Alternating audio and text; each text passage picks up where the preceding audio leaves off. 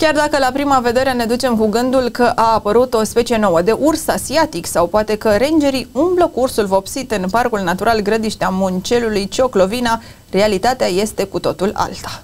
Una dintre camerele de monitorizare faună montate de rangerii parcului au surprins o femelă din specia urs brun împreună cu puiul ei, ambele exemplare prezentând o caracteristică aparte a coloritului blănii, un guler alb în jurul gâtului. Acest fenomen este întâlnit destul de rar la specia urs brun. Parcul natural Grădiștea Muncelului Cioclovina din Hunedoara se întinde pe aproape 40.000 de hectare în munții Șureanu, din mijlocul cărora izvorăște Streiul, râul legendar al Sargeției în care Decebal ar fi ascuns comorile dacilor.